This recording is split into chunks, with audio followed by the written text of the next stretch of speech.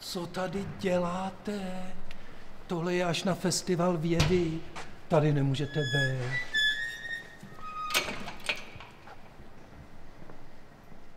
Přijďte si užít vědeckou laboratoř společně s pokusy pod širým nebem.